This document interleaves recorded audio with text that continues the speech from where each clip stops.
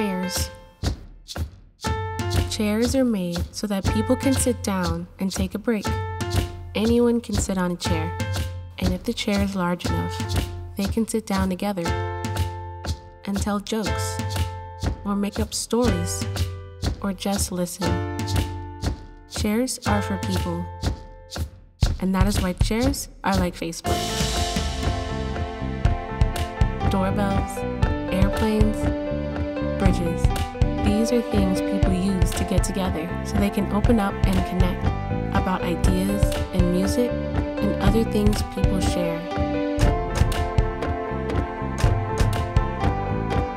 Dance floors, basketball, a great nation. A great nation is something people build so they can have a place where they belong. The universe, it is vast dark and makes us wonder if we are alone. So maybe the reason we make all of these things is to remind ourselves that we are not